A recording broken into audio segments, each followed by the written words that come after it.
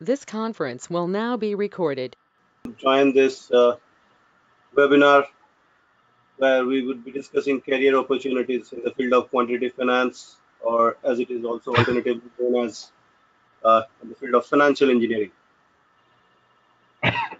so as you all know, uh, we are extremely lucky to have with us uh, Mr. Bhatia take us uh, through this session. Just to give a brief uh, background of I mean, whatever I say would be less in terms of his profile. He has a, such a profound experience. Mr. Bhatia actually is an investment banker. He was a derivative trader and then he turned an entrepreneur. He has also been involved with a lot of academic projects as well. Mr. Bhatia has more than 30 years of experience working in leading positions with different MNC investment banks globally in various countries and cities like New York, London, Hong Kong, Sydney, and Mumbai. So he has been with uh, Citibank Global Asset Management London, where he was uh, dealing with alternate investment, alternative investment strategies. Was managing around 10 billion uh, funds there in collateralized debt obligations. He was with Lehman Brothers London in the Global Derivative Products Group as a derivative structurer. He was with Merrill Lynch Capital Markets Hong Kong as a country coverage officer for Indian subcontinent. He worked with Booz Allen and Hamilton in Sydney as a strategy consultant on assignments for one of the largest banks in Australia. And he has been also an interbank foreign exchange trader with Citibank at the start of his career. Mr. Bhatia, actually, as I said, he uh, then became an entrepreneur. As an entrepreneur, he started his work as an in uh, Financial Engineering LLC in Florida. What is uh, work on artificial intelligence and neural network based trading strategies resulted in the development of the neural trader system, which is the which was the second best performing trading strategy in the world in 2004-5. Can you believe it, guys? The second best trading strategy in the world, and uh, that resulted in the creation of a hedge fund, Delray Capital, a firm specializing in developing and trading quantitative trading strategies for the global financial markets. He is also a partner at Neural International Partners. Mr. Bhatia has uh, wonderful uh, academics as well. He has done his master's from Columbia University, New York, where he was the Dean's Fellow at School of International Affairs and majored in international banking and finance. He also has an MBA from IIM Ahmedabad. Right. So uh, that was a very brief profile description of Mr. Bhatia. As I said, we are extremely lucky to have uh, him with us today. Uh, with that, I will uh, hand over the session to Mr. Bhatia. Uh, Mr. Bhatia, thank you so much for taking time out and uh, speaking to these guys. I hope they can take benefit out of this. Okay, thank you very much, Nitish. And welcome to all the participants. I hope you know, we have a very interesting and productive discussion. Uh, I'm actually going to spend just about 20 or 30 minutes talking about uh, career opportunities in quantitative finance and financial engineering. And uh, I would love to take questions and uh, you know try my best to answer uh, whatever queries you have. So I hope everybody can uh, see my screen. Is everything working fine, Nitish? My screen is visible. Mr. Bhatia, you, you need to share your screen now. I made you the presenter. Okay, wonderful.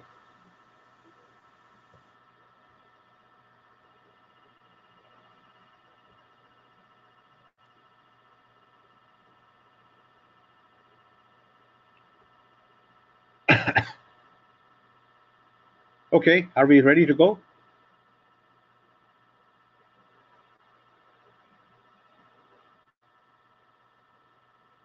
Uh, we don't see the screen yet.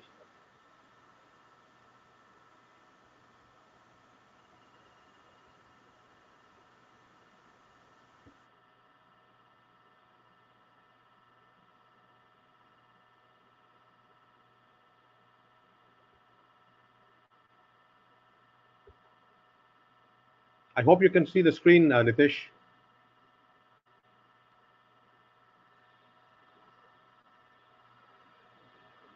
No, actually not. Can you stop sharing the screen and reshare? Okay, So what do I log out and come back? Yes, you can do that as well. Okay.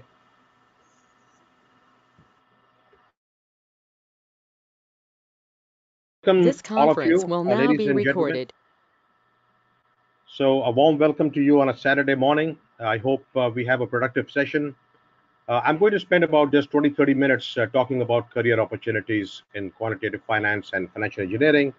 And then I would love to take your questions and uh, try my best to answer all the queries that you have. See, the good thing about quantitative finance is that there is an abundance of career opportunities, whether it's in investment banks, whether it's in hedge funds, whether it's in algorithmic trading, uh, risk management, whether it is in other areas like software companies, consulting, energy companies, just about academia, fintech as well. So the opportunities are there. Uh, the key thing is how do you prepare yourself for these opportunities? Because all these opportunities require very specialized and high quality skill sets. And if you acquire those high quality skill sets, you become a very desirable candidate for this wide range of industries who hire people with strong quantitative finance, strong analytical, and strong financial engineering backgrounds.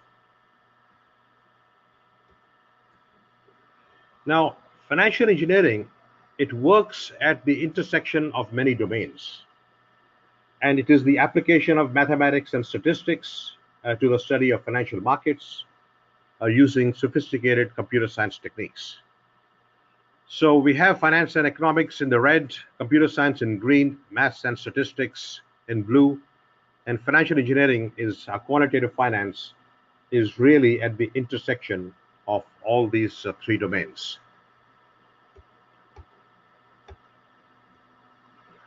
Now, there was a time when trading actually just took place on the floors of stock exchanges. Uh, this is a snapshot from the New York Stock Exchange uh, in the early part of the 20th century. But things have changed.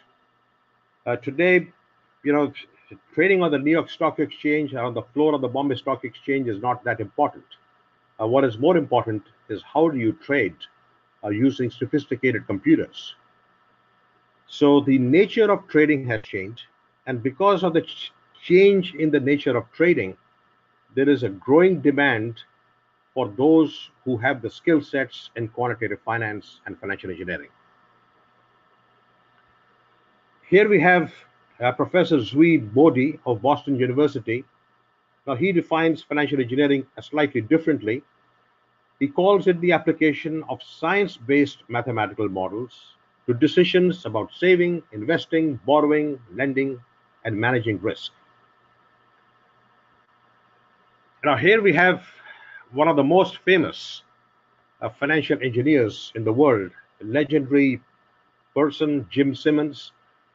He was the founder of Renaissance Technologies, a hedge fund based in New York, which manages over $25 billion. Uh, 2006, Dr. Simons was named the Financial Engineer of the Year. And he has now retired, but he's still, you know, a remarkably successful man with a net worth in excess of $14 billion. And his income, uh, his per annum income, is in the billions of dollars. And he's the number one financial engineer, a number one quantitative uh, finance uh, person in the world. And now he's in the 80s, in his 80s, and he has founded Math for America, a nonprofit organization, and the mission is to improve mathematics education in America. The interesting thing about Dr. Simons' hedge fund, Renaissance Technologies, is that even if a guy from the Harvard Business School or Wharton or Stanford Business School applies for a job, they won't even bother to call him for an interview. But if you have a master's degree or a PhD in physics, in mathematics, in statistics, electrical engineering, or computer science, they would love to talk to you. Because their philosophy is that we really cannot teach mathematics and advanced physics to s- someone who has a finance background. But we can teach finance to a mathematician. we can easily teach finance to a physicist or to somebody who has a degree in electrical engineering. Now, Jim Simons, what did he do? He's known as a quant king. Now, retired from his $29 billion hedge fund called Renaissance Technologies. The hedge fund is highly secretive and consistently profitable. It uses a black box strategy known as medallion. And what this black box does is that it implements mathematical models using computer science to find inefficiencies in highly liquid securities. Now, Dr. Simons is a graduate from MIT. He started his career as a theoretical mathematician and was a code breaker for the United States Department of Defense. He later on headed the mathematics department at the State University of New York at Stony Brook. And today he has contributed more than a billion dollars uh, to charitable causes uh, like Math for America and autism research. Now, who are financial engineers? What do we do? Uh, we apply mathematical formulas using computer programming to financial strategies to analyze market trends, and we build data backed financial models. So, a lot of financial engineering or quantitative finance is highly data driven. So, the kind of work that data scientists do is also of great help and great application in quantitative finance. And companies often employ people with advanced degree in financial engineering to work as investment managers, portfolio managers, bankers, or traders to improve the quality of existing investment products. And the primary responsibility of a financial engineer is to have a very thorough knowledge of financial markets, its volatility, and knowledge of financial theories. And this knowledge is used by financial engineers and quantitative finance guys to develop simulations and to predict market behavior. Now, what kind of skill sets are required amongst folks in quantitative finance and financial engineers? One is a focus on modern finance. See, modern finance begins where traditional finance ends. And when I talk of traditional finance, I'm referring to the finance that chartered accountants do. You know, that requires auditing, you know, creating balance sheets, uh, P&L statements, doing financial analysis, ratio analysis, for example. That's where, you know, traditional finance ends. Modern finance is more driven by mathematics, driven by physics and statistics and computer science. It requires knowledge of economics, and more than economics, it requires the knowledge of econometrics. Then you need computer programming skills in C++, Java, uh, Scala, Python, or in the use of statistical packages like R, MATLAB, SAS, S+, and RAD. Then advanced mathematical knowledge of stochastic calculus and linear algebra comes in very handy. Simply also like that, advanced statistics, knowledge of multivariate probability, distributions, derivatives pricing using lattice trees, closed form solutions, and Monte Carlo simulation are also very, very helpful in the repertoire of skills that a quantitative finance or a financial engineer should have. Then skills like derivatives hedging, which include dynamic hedging, static hedging, as well as option replication strategies, come in very handy. Now, careers in quantitative finance and financial engineering are spread across the world and they are spread across a number of different domains. You could end up working in quantitative research and analysis. You could end up working in development of quantitative and analytical software you could be building valuation models. You could be doing model validation. You could be doing portfolio management or even portfolio analytics.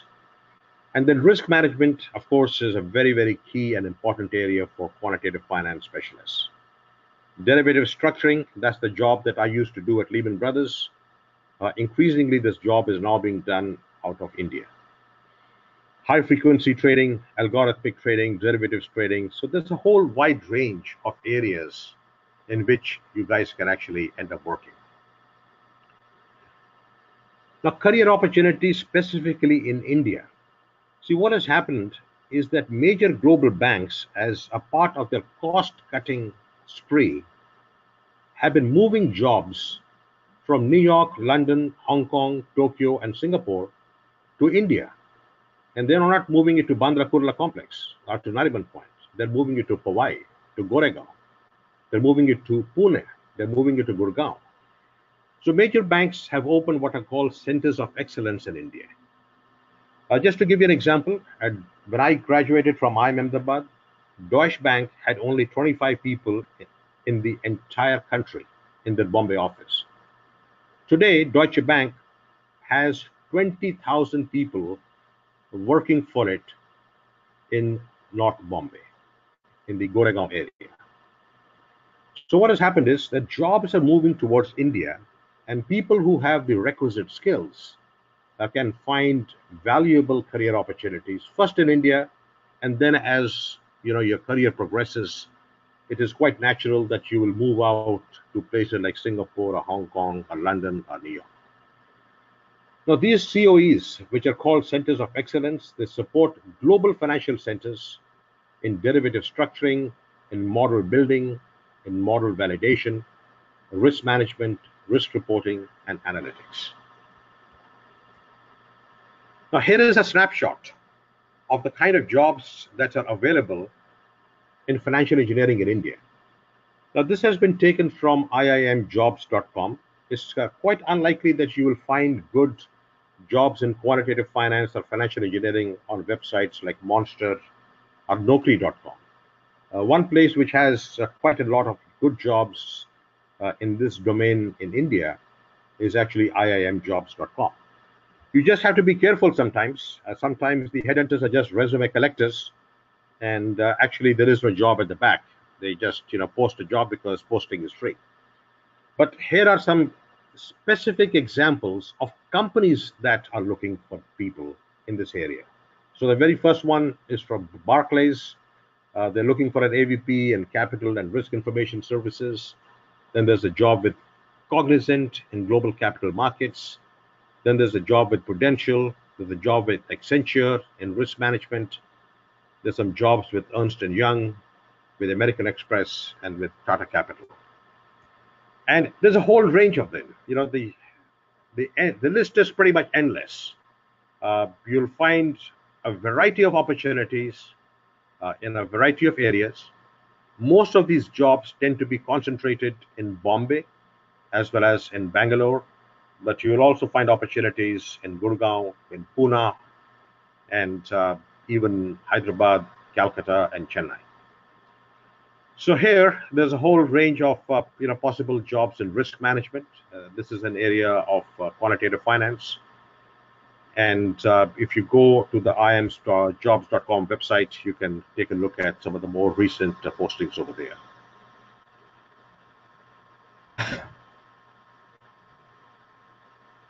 Now, one of the important questions that everybody wants to know is that yes, if this is such a great domain and pays so well, well, what am I going to earn? Now, I have divided the firms in a tiered manner according to the most desirable firms to work for and the least desirable firms to work for at the bottom. So the bulge bracket global banks like Goldman Sachs and JP Morgan, uh, these tend to be the most desirable places to work they usually will pay the top drawer compensation for the best talent.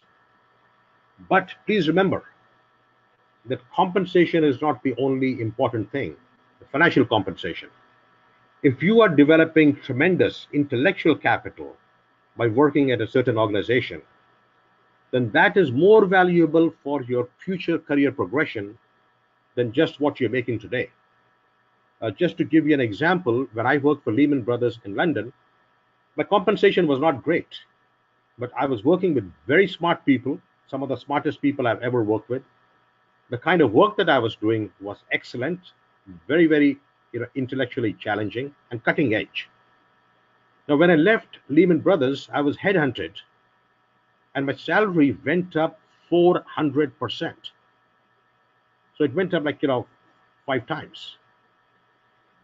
Now, that happened simply because my intellectual capital had gone up tremendously. And that intellectual capital ultimately gets translated into financial rewards at some point or the other. Now, amongst the second tier global banks, I've included Citigroup, Bank One, uh, Bank of America, Credit Suisse, Deutsche Bank, and UBS. And some of you may say that, you know, why are these banks in the second tier? A reason is very simple. These banks copy what the bulge bracket banks do. They copy what uh, Goldman Sachs does, what JP Morgan does. Uh, one, one bank whose name is missing over here is Morgan Stanley, uh, used to be bulge bracket at one time, is now probably second tier. Now, I know for a fact that Deutsche Bank pays 22 lakh rupees per year to fresh MBAs from the top four IIMs. Uh, the reason I know that is that I have actually taught these people.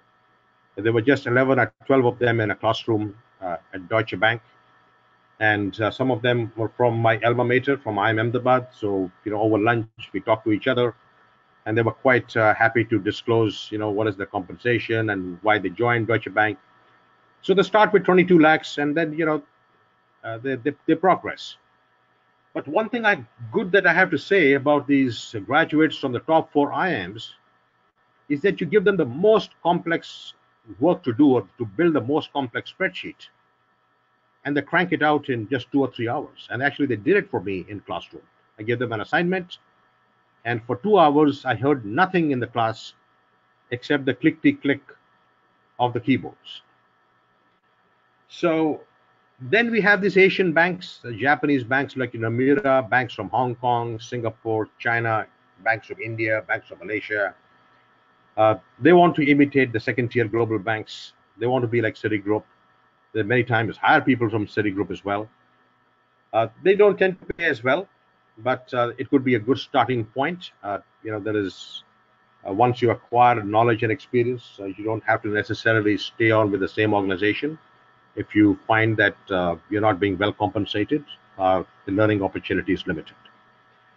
Then at the bottom of the pile, you have the IT companies, Accenture, IBM, Oracle, the global IT companies. Then we have Infosys, Wipro, Cognizant, and Capgemini.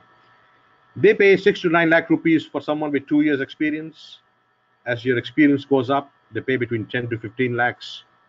And then as your experience goes up to 10 years, they pay as much as 10 to 25 lakhs not the best of places to work, but again, sometimes there is no harm in just getting started if that's the opportunity that's available. Now let's talk about a snapshot of financial engineering jobs overseas. Uh, there is a website called eFinancial Careers. Uh, this is a snapshot which is taken today. You know, there's jobs in Frankfurt in Germany for valuation and financial engineers, there's an opportunity for a cross-asset financial engineer in Singapore. When we talk of cross-asset, what we mean is someone who has the capability to model a variety of asset classes. Could be fixed income, could be equities, uh, could be commodities, could be energy, uh, could be hybrid asset classes as well, like convertible bonds. Then investment risk analyst, analysts, this is another job in Singapore. Uh, similarly, there's a senior uh, counterparty, uh, sorry, XVA quantitative developer at one of the top global banks. They pay almost like, you know, 700, 800 pounds per day. Again, here's, you know, a range of different jobs overseas. The good thing about finding a job overseas is that obviously it pays much better than the jobs in India. The flip side is that in many places, the cost of living can be very high.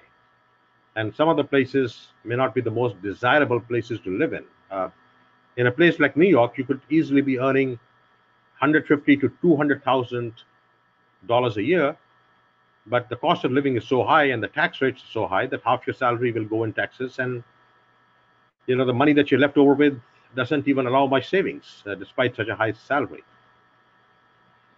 Now, here is a website called Wilmott. Uh, Paul Wilmott is a quant, a very famous quant, a PhD from Cambridge in physics.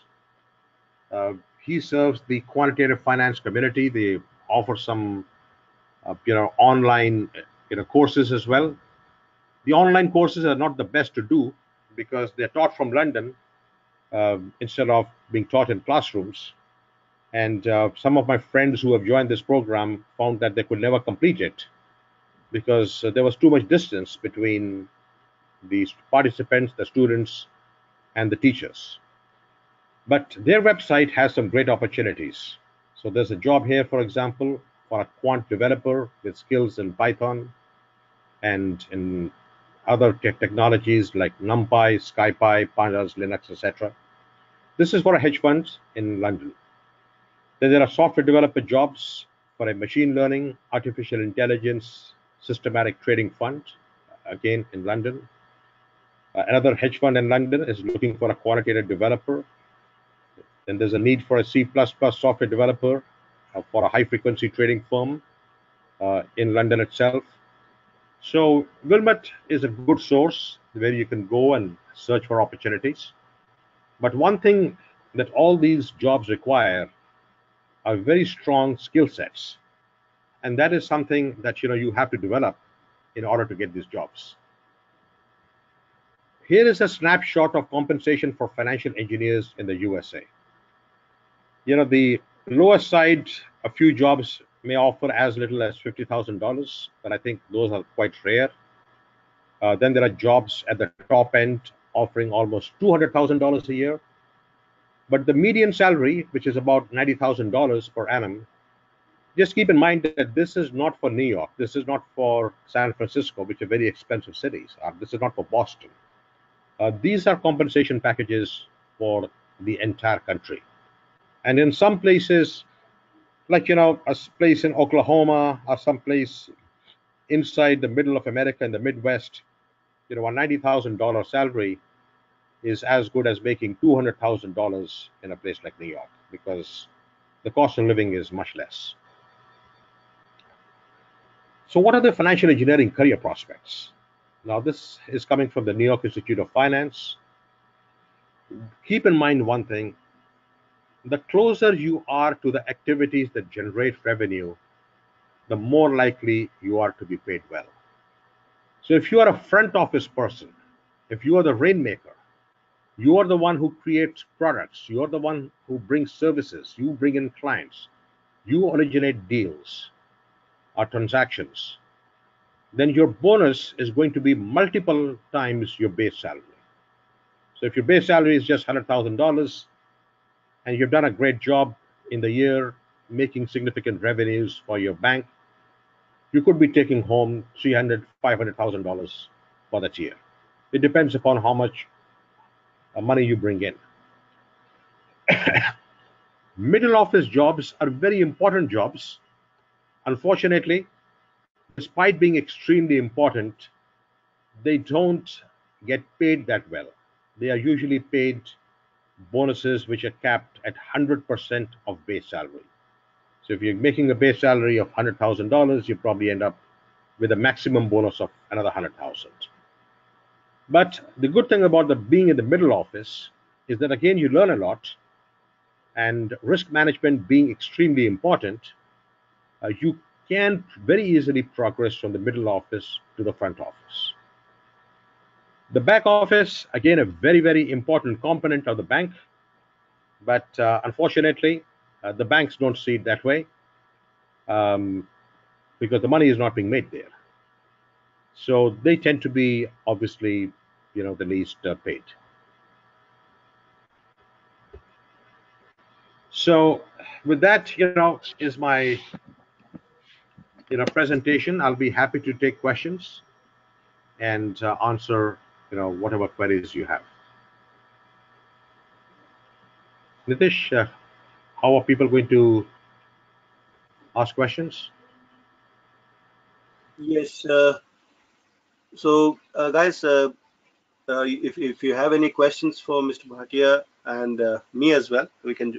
I mean, we can we can answer questions that that you might have so please feel free to ask uh, as i have explained over the email so if you have to ask a question you just have to unmute yourself and speak up so please feel free i mean of course we'll go one by one so anybody has any questions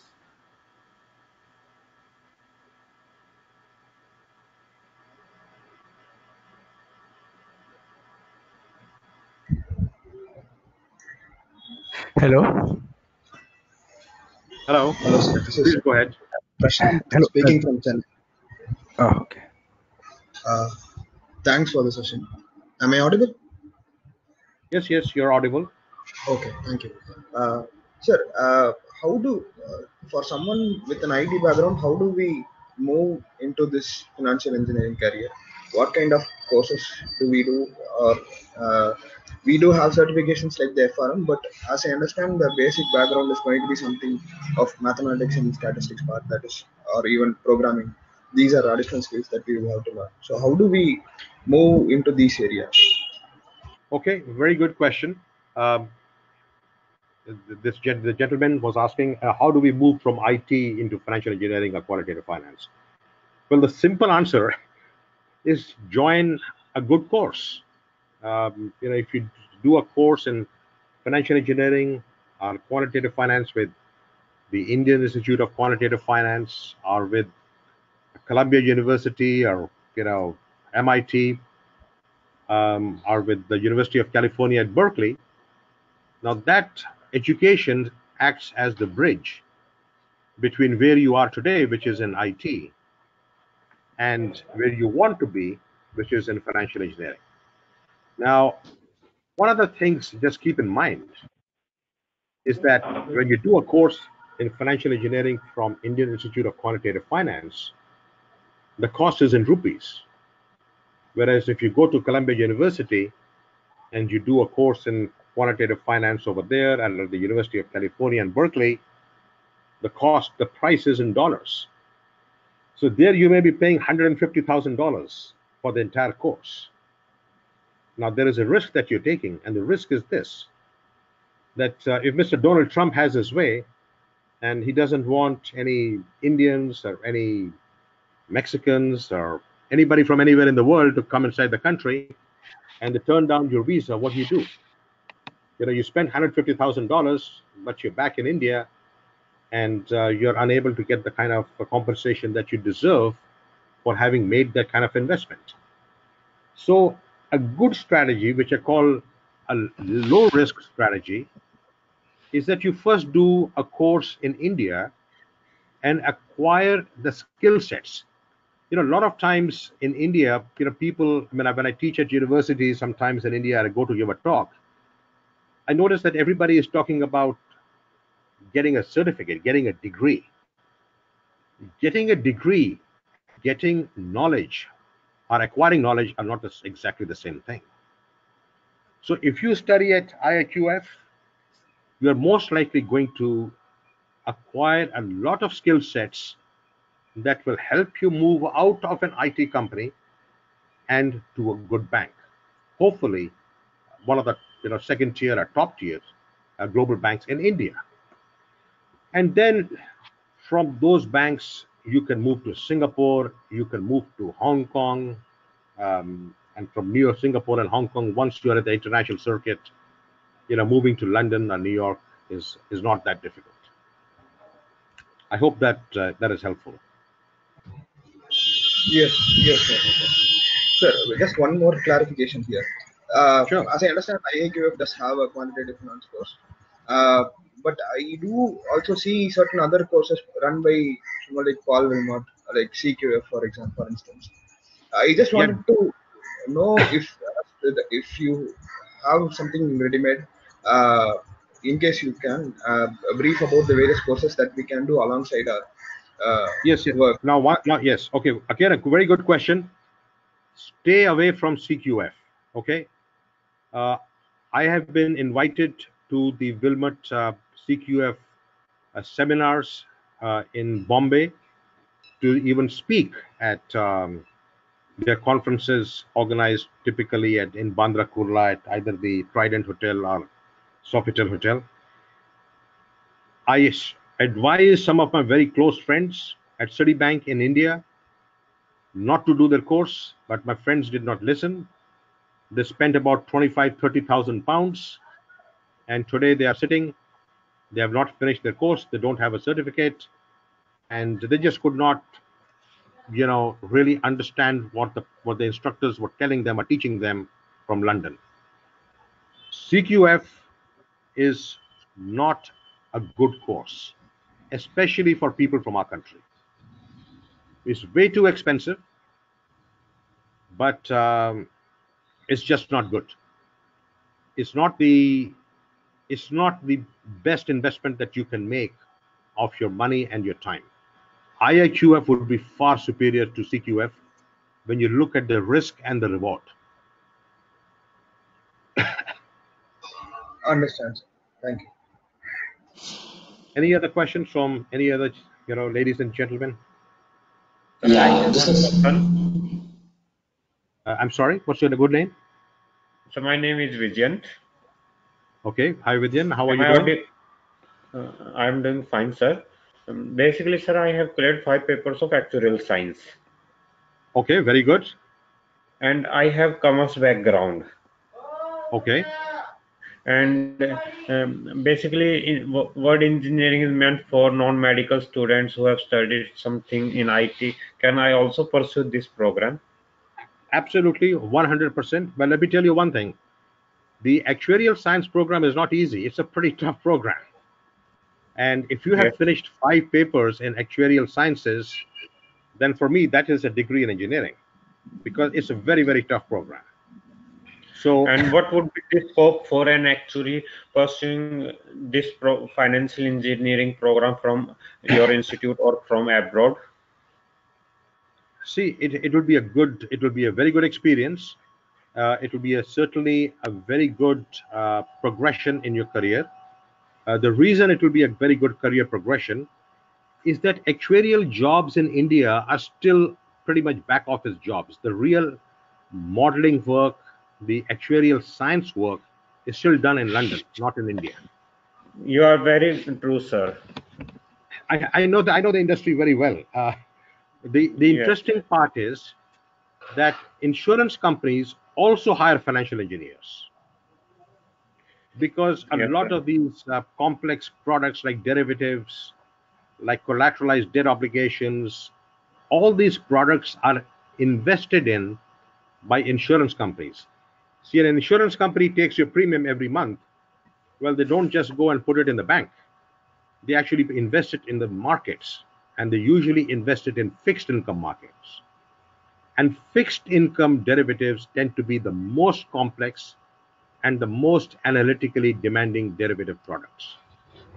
So if you have done five courses in actuarial sciences then if you combine that with a program from IIQF that will be enormously benefit beneficial to you.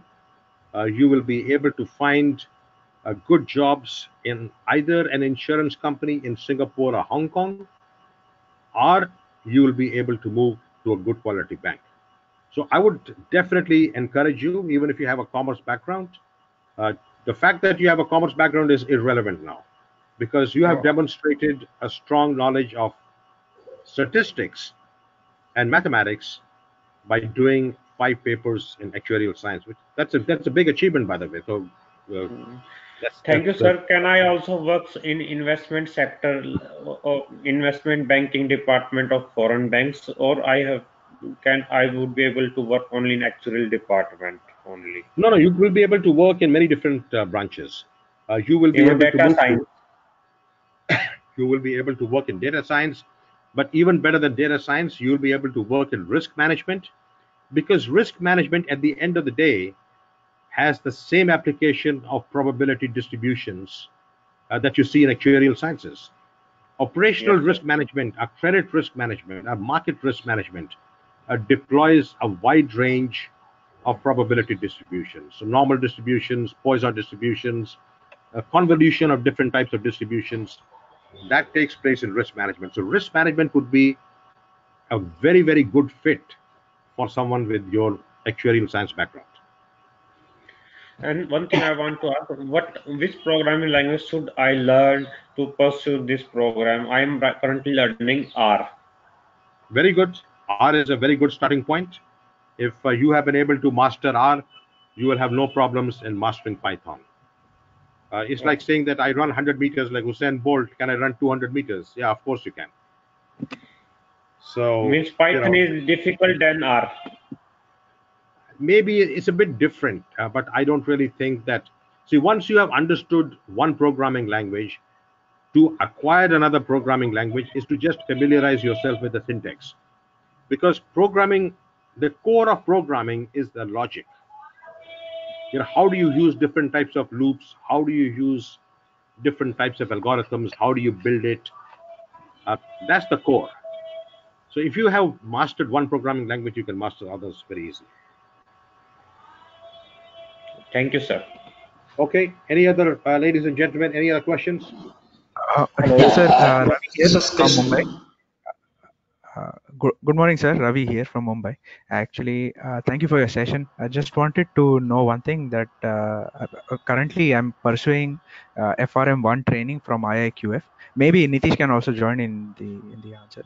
Uh, but wanted to know the progression as to how I will progress from FRM1 training. and What should be the next uh, next training uh, that I should take in order to move ahead with uh, with the financial engineering uh, maybe career opportunities Nitish, I think you will be better positioned to answer that question.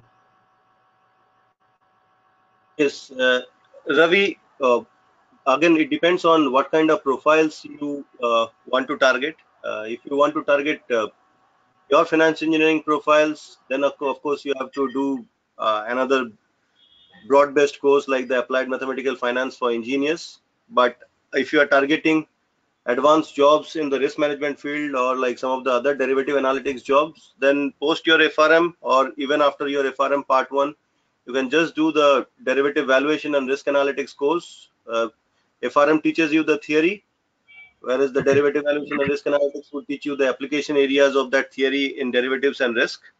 The actual implementation part, you can combine both of that to apply to a lot of good profiles.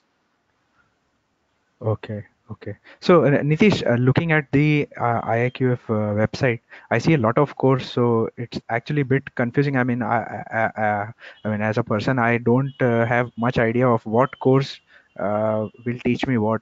So uh, uh, do you have any any any uh, may, some uh, description of what the course is and uh, Yeah, of course, every course would have its own description. Yeah, IIQF does, uh, I mean, conduct uh, around four to five programs uh, for various aspects of financial engineering and risk management. And what course you should be doing, uh, as I said, it depends on what kind of profiles you want to target. okay Okay. So Okay. again, if you see the website and if you want me to give a brief description of each of the courses, I, Yeah. I'll give, but like maybe uh, too much time we cannot spend here on this question, but yeah yeah I'll give yeah brief, brief answer, right? So Okay. As- I was mentioning earlier, if you want to go into pure financial engineering profile, so you'll have to do the course Applied Mathematical Finance for Engineers, which Okay. uh, goes into uh, in-depth mathematical modeling, right? So derivation of the mathematical models, then implementation and all that stuff. So which uh, goes deep into stochastic calculus and all that, right? Okay. Now, uh, again, if you are somebody who may not have that much of mathematical depth or by nature you don't want to target uh, those in-depth quant modeling jobs maybe you want to target a little bit uh, le- uh, profiles which are more targeted towards risk management and a little less math uh, oriented roles then other courses you can do is like a certificate program in quantity finance and risk management where like mathematics is uh, you can say to the frm level all right but the good thing about that course is it teaches both the theory plus the practical model building okay? It might not go into in-depth mathematics but it still goes into the application side. So how you value a derivative instrument in excel vba and python right? How you build risk models in excel excel vba and python. So all these things are taught from a practical point of view. Now said that that certificate program in quantitative finance and risk management it's actually divided into two parts okay? So what we have done is the first two and a half months teaches you the basics. Basics would mean advanced uh, quants, right? So uh, basically uh, advanced statistics, econometrics, probability, time series analysis, and like uh, the, some of the mathematics required for understanding derivatives, right? And then we go into advanced financial markets and products. So okay for those like you who are already doing FRM level one or by your job or by your degree, you have learned this uh, statistics, econometrics, probability, basic mathematics, and all this stuff, and as well as like the financial markets and products knowledge if you already have, then of course you don't need to repeat this basic stuff, right? So then Yeah, you can yeah. skip the first two and a half months and you can directly start from the advanced part, which is the advanced three and a half months where the actual application areas are taught. So in that case, if you're only doing the advanced part, it is called a certificate program in derivative valuation and risk analytics. If you're doing the entire six months course, then it is called a certificate program in quantity finance and risk management. So depends on your background in, in that case, right? Okay. Okay. And then there are other courses on algorithmic trading, okay, which is a separate field. So if you are somebody who wants to apply all these things to trading, right, then uh, algorithmic trading would be another uh, course which you can see and look at. Okay. Okay. Okay, Nitish. So yeah, Thank the you. four Thank you. the, the four courses or five courses that are there, uh, they are they are they are there for very specific reasons. Yeah. Yeah. Because a lot of time things things do appear uh, overlapping each other, so can't make out which which Yeah, of course should be the best. be, there would be commonality because at the end of the day, basics remain same, right? But the application Yeah. areas are different, and uh, the each course is taught uh, depending on the application area that you want to target. Okay. Okay, Nitish. Thank you. Yeah, hi, I, I have a question. Uh, this is Krishnan from Bangalore. Now, um, see, I, I hold, uh, I have degree in mathematics, and uh, I'm from the IT background. I also did a advanced diploma in management studies from Singapore. Now, my core is only IT, uh, more in the pre-sales. Now, and as you can see, I have finished my degree uh, decades ago. Uh, I the calculus and all the parts are pretty rusty. So that's the primer course. I've gone through the uh, brochure. Will the primer course alone uh, help in catching up with you know the uh, requisites for uh, doing this AFME? Okay, so Nitish, that You want to, you yeah want to answer yeah. Uh, oh yes. So Krishnan, uh, just to understand your question again better, right? So if uh, I, I just to see that if I've not missed any points. So you want to understand whether the primers that are there in the applied mathematical finance for engineers course would that help you in learning the main course? Is that the question in brief? That's right. Yeah, of course. Yeah. So, so the that is how the primers are designed, right? So, uh, okay. So just to go one step back, if you see the applied mathematical finance for engineers course, okay. So we have four primers, one on mathematics, one on statistics, or one on finance, and the other on programming, okay. And since these four areas would be applied quite in depth during the course, so we expect the candidates to have background in all these four areas, the basics at least, right? And if somebody is, uh, again, depending on your background, you would need to do a brush up from the right primer. Of course, you can, eh, once you register for the course, you would get access to all the four primers. So if you have time and if you can do, you can brush up using all the four primers, or of course, uh, uh, you can you can selectively do the primers where you think your background is a little weak or like you think a little bit uh, uh, uh, uh, brush up is needed. Maybe because you have done something a long time back right? So yes the primers are a good starting point and they give you a background uh, knowledge or in, in the sense uh, the things that you need to know or the thing basics that you need to know to understand the later part of the main course Okay. Okay. Yeah. Thanks, Nitish. Yeah. all right Yeah, I have one more question on the languages. I saw multiple languages on the uh, C++, Python, uh, the um, R, MATLAB. So, which is the language that will be, um, you know, that we should focus? Is it R or is it uh, all of these or one of these or what is it? Because each language has its own uh, flavor. Okay. So, Mr. Bha- Bhatia, would you like to answer briefly on that? And if I, uh, if do you want me to add on that, or do you want me to answer that?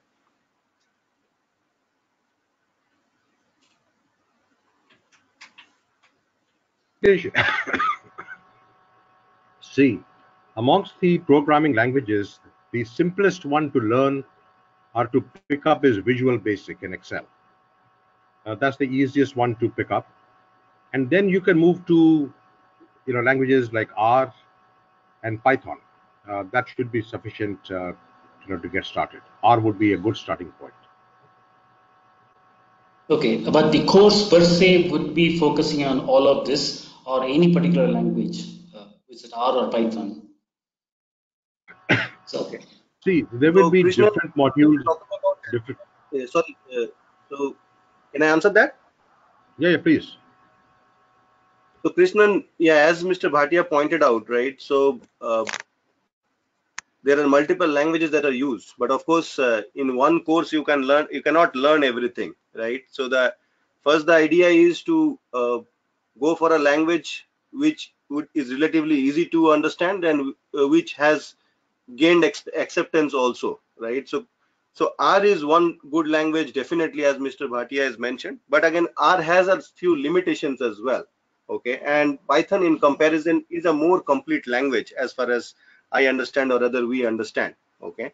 And uh, python was ha- what has happened is uh, again r r is like a very good language for doing just statistical analysis but when it comes to financial engineering python is gaining a little bit more prominence in the industry. Uh, being a more complete languages and another aspect is having more well developed libraries already built in okay? So in uh, as a starting point, either R or Python is good enough, right? Uh, but Python has a slight edge, and that is why we have started actually applying more of Python in our courses. And this particular program, Applied Mathematical Finance for Engineers, currently the implementation is entirely taught in Python. okay, okay, okay, clear. But once you learn uh, implementation in one language, as Mr. Bhatia was explaining, right? So key is to, if you're a non-programmer, uh, or even if you do programming, right? And I mean, if, uh, if, if once you know the implementation in one language, right? And if you know the other language, you can always do that. See, there's no denying the fact that that the highest places, right? C++ is still used, but again, learning implementation in C++ is or like C, C is not everybody's cup of tea, right? And if somebody is a good enough programmer, then I mean, if he has learned in Python, he can always convert that into C codes or C++ codes, right? On the other hand, if if if programming is weak for somebody, he's just started out to learn, then he will never be able to start with learning implementation in C or C++, right? In that case, Python is very helpful. So it's actually good for both both kind of audience. I mean, whether you are an extreme pro, uh, knowledgeable programmer or you are starting out with programming, right? So so that is why this is like uh, what you what you can say is the consensus language where we where we arrived, and uh, at this point the best available one. Okay, okay, thank you. Yeah. And in the proctored exam, do we uh, use the calculator or Excel or these tools, or is it all a multiple uh, MCQ type of questions? Hello, can you hear me now? Is it better? Yeah, yeah. The, the the voice was okay, but somehow actually the voice got a little muffled. I could not hear the question. Yeah. See, in the proctored exam, are the questions MCQ based, or do we need to do some programming where we can use Excel or R and other tools? How does the exam pattern? Yeah, sure. So again, uh, the evaluation actually, if you see for the applied mathematical finance for engineers, is actually uh, two things. One is the project or the assignments that you get at the end of the course. Okay. So these projects and assignments would require you to build practical models uh, based on what you learned during the course, right? So that is the one thing. And the second, when you talk about the exam, actually it's an open book exam uh, and it would be proctored and monitored online, right? So it can be a combination of both MCQs as well as uh, uh, what do you call uh, broad questions as well. Okay, so it's not a one single format. Uh, there would be a mix of both kind of questions. The key is to basically go through the programming lecture, I mean program lectures very keenly and practice. If you do that, you should be able to solve that exam uh, questions as well. Okay, all right, thank you.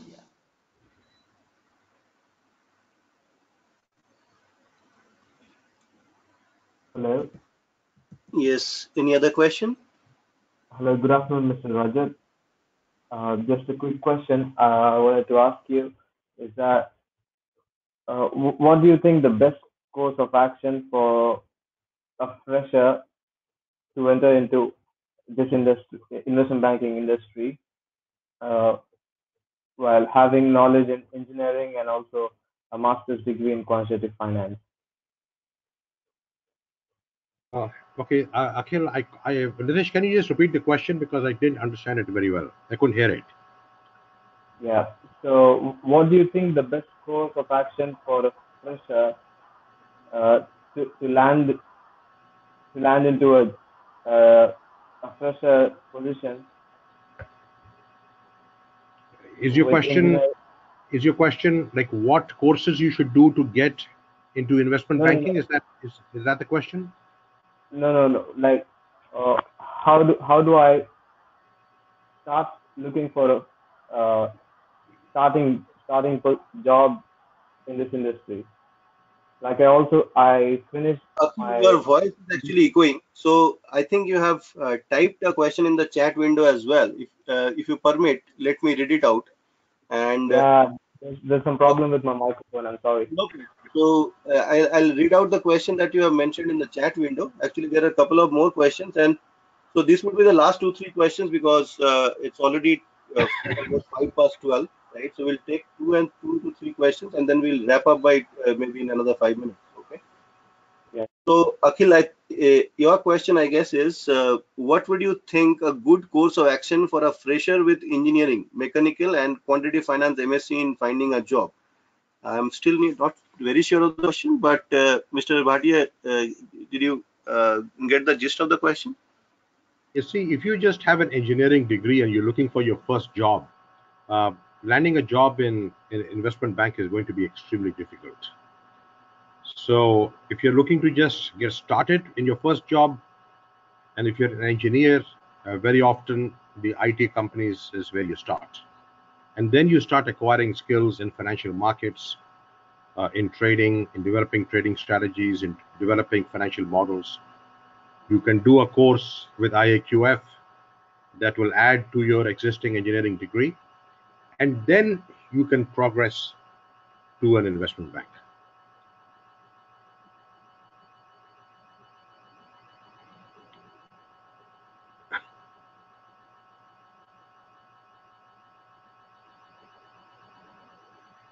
Hello?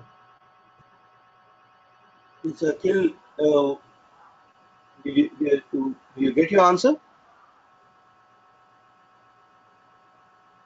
Yes, Vinay, for a commerce background student, I think uh, doing one of the programs um, in quantitative finance at IIQF would be a great step, but you will have to start with some of the more basic level courses first. And as you build up your skills, then you can go to the more advanced level. Yes, Vinay. So uh, we do have courses for people from commerce background also who want to join this industry, as I was explaining a while earlier. We we can, you, we can, or rather, you can look at the course certificate program in quantitative finance and risk management. There, the maths is a little tailored so that even uh, finance guys can do and enter into this field. Uh, if you want, uh, we can discuss that in more detail on a personal uh, phone call.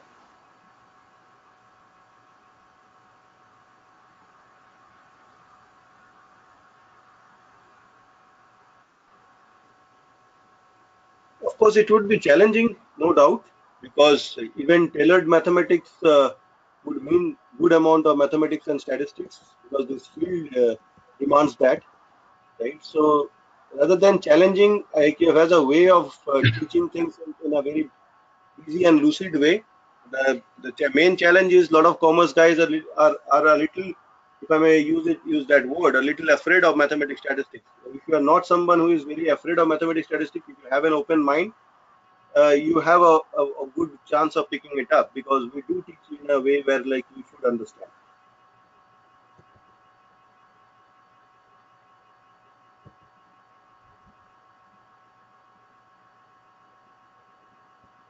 Um, Mr. Bhatia, a couple of more chats actually, if you can take up and then we'll wrap up. Okay, that's fine.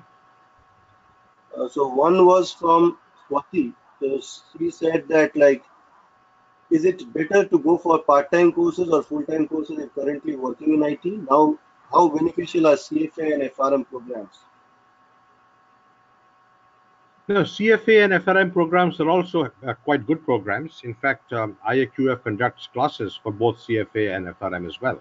No, just to correct, we do only for FRM actually. CFA we have. Oh, only FRM? Okay. All right.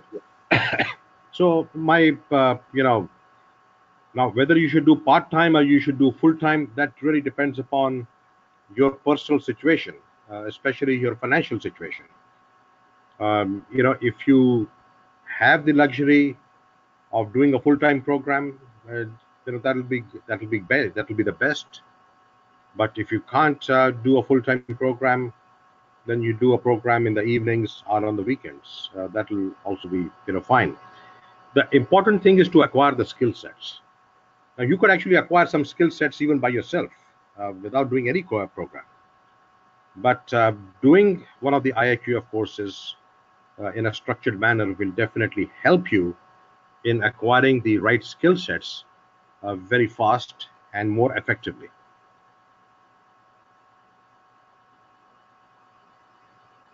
Right. And last question would be from Zayed. He has put, it up, a question going back. So Zayed, if you're there, just to answer your question. Uh, he has asked, how can a person with zero to one year experience with a degree in risk can start off? So first is the Zayed, uh, you have to give Mr. Bhatia a little bit idea about your background. So Zayed, if you're there, you can unmute and speak up.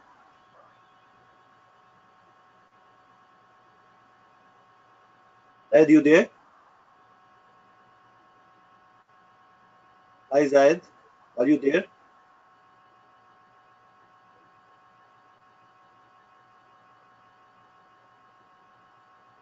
So Zayed actually has left. So maybe uh, I'll discuss with him later on that question. I'll give him a call and answer that. Since he's not there, so no point answering this question.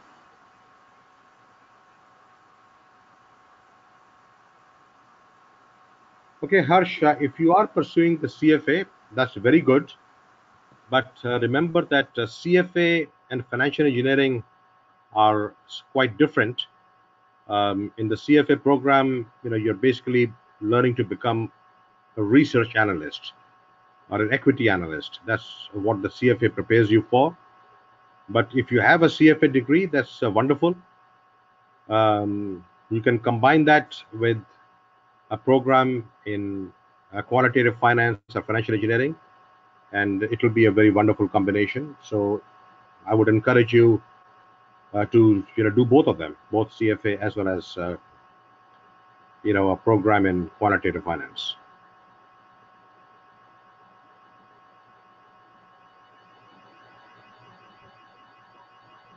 Are you talking about the World Quant University of Igor Tulchinsky? Yes. Okay. The see, I was asked to teach the World Quant University, but um, there is a bit of a you know not so ethical stuff going on over there. They're trying to offer that uh, degree from the World Quant University for almost free. It's actually free, but since they are not paying any money to instructors either, they're not able to get any good instructors. So Igor Tulchinsky is a billionaire. He wants to run this charity, but he wants other people who are not billionaires to do it for him for free. So I actually turned down that opportunity. So I have no idea as to who are the instructors over there or what is their quality. Uh, I very much doubt if any good instructors are going to come to the World Quant University unless you know they actually you know pay market level compensation to the instructors. Okay.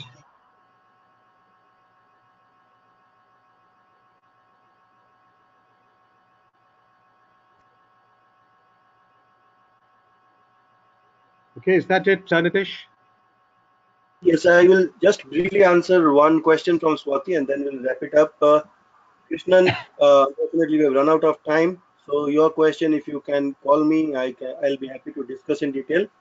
But briefly to answer Swati, the structure of uh, these programs. Uh, yes, Vinay. Uh, if you have received my emails, my contact details are already there, but I'll, I'll mention over the chat window here as well. Uh, Swati, for the certificate program in quantitative finance and risk management is Certificate program in applied mathematical finance for engineers, it is uh, 1,55,000. For the postgraduate program in algorithmic trading, it is 85,000. And uh, please uh, feel free to call me. Uh, my number I am given in giving in the chat window. Uh, this is my email ID which I am mentioning now.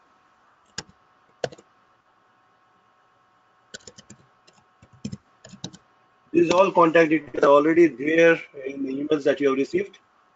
Uh, but I'll be I'll be happy to answer any more questions or have further discussions in detail with any of you on uh, on our courses or in, in general career opportunities and other things as well. Uh, if you have other questions also, please feel free to ask me or call. But uh, now we're running a little out of time, so we'll wrap up the session. Thank you so much, Mr. Bhatia, for uh, your time. Uh, thank you guys for attending the session. Look forward to hear from you if you have any other questions. Thank you again, Mr. Bhatia.